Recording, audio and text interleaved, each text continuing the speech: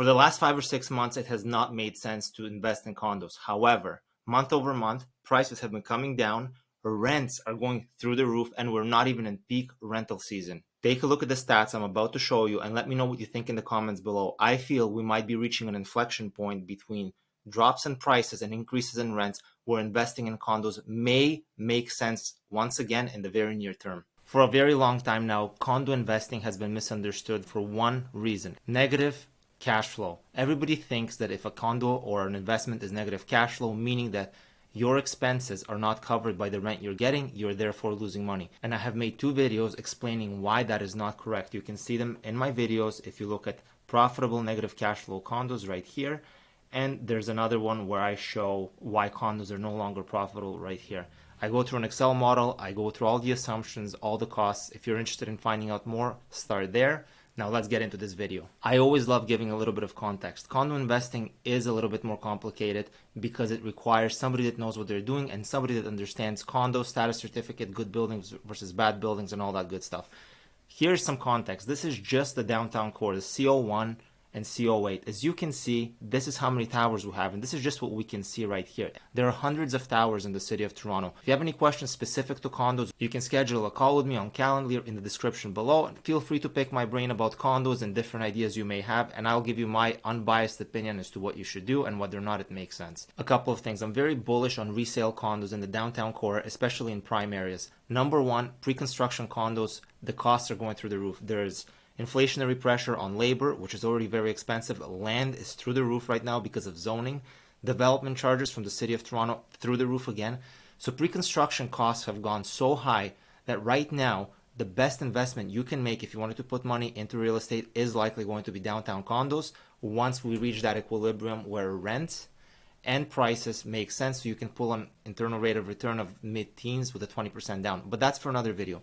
What I want to talk about is why resale condos I think are going to make a comeback in the very near term. If you look at BrokerBay, I've pulled the last two years of data and we can see right here, again, we're going to start with showings. Showings throughout 2020 were pretty low. This was probably one of the worst years for condos in the last 10 years. We're looking at under 10,000 showings per, per month. We had a bit of a run up in 2021 and then a taper again taper again, and then we had a huge run up right until March. And now with interest rate hikes, obviously condos are starting to get a little bit less traction. This is for resale throughout the downtown core. If you look at offers, very similar. Offers were down in 2022. They were, they were doing significantly better in 2021. As you can see, they were technically double since 2020 and they really started peaking in the beginning of 2022 and now the steam's been taken out of the market because interest rate hikes. What does all of this mean? Well, let's look at one of my favorite Twitter personalities, Ivan Gorbaday, who has some of the best stats. Again, I suggest you follow him. He releases mid-month stats and end-month stats that I find very useful. If you take a look at downtown condos for May of 2022, C01, to keep this simple, C01 is west of Yonge, C08 are condos east of Yonge Street. Prices have come down month over month 1.2% to 7.8%, and sales are decreasing. So that's one side of the story. But now let's take a look at what's happening with leases for condo units in the downtown core. Rental demand as it increases into the summer as students come back to school. As we know, 2020 was a very tough year for condos. Rents dropped 20 30% in some areas. This shows you the level of showings. Again, we dropped significantly, started getting to some sort of a normal level of 25,000 showings in July of 2021. And this is again the run up you get from students, and then it tapered off. Typical, this is seasonal.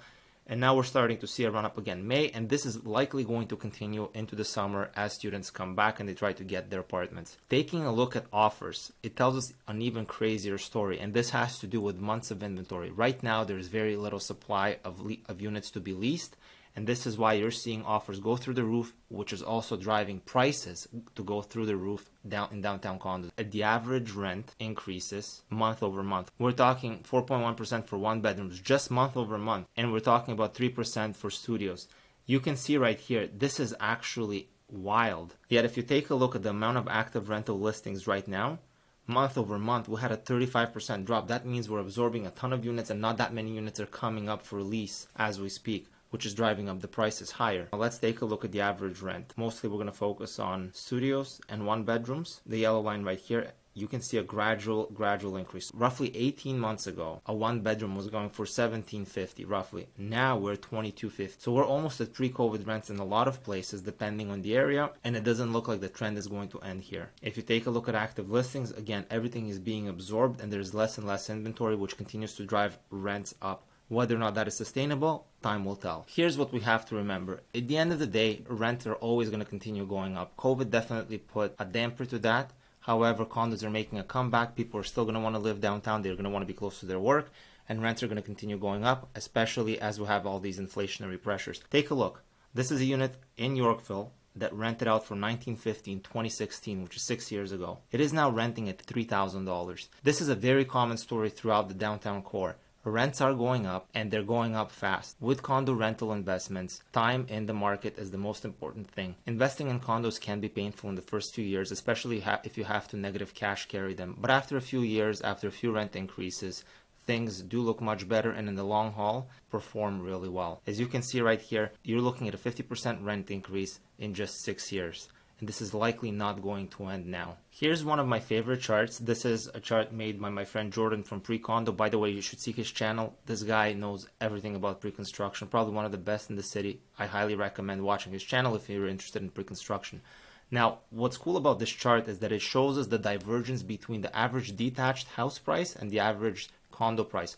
Once the spread becomes too big, one of three things will happen. Either detached homes will come down in price, condos will go up in price or both will happen simultaneously.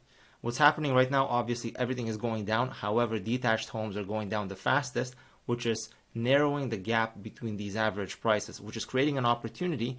And I believe this is going to be a double sided opportunity. It's going to be an opportunity for those living in condos who are looking to upgrade to a detached because the spread between their condo and a detached is much smaller it was maybe one million dollars of extra mortgage in the past. Now we're looking at you know six to seven hundred thousand dollars in extra mortgage to do the exact same move. While the detached dropped four hundred thousand, their condo only dropped fifty thousand. What this might mean is that we're going to see more units coming up on the market if people start upgrading and moving to those good school districts or getting that extra space they need to start their families. If you're looking to take advantage of opportunities now, or three months from now, or six months from now, or even 12 months from now, get educated. Work with a realtor that understands condos, knows them in and out, understands status certificates, and knows which condos are going to be appreciating well into the future and which ones aren't. But not all condos are created equal. If you have any questions specific to condos, feel free to text or email me anytime and I'd love to chat about it. If you found value in this video, please like and subscribe. This gives me the feedback I need to know what kind of content to put out that is going to help people navigate through this dynamic Toronto real estate market. And until next time, thank you.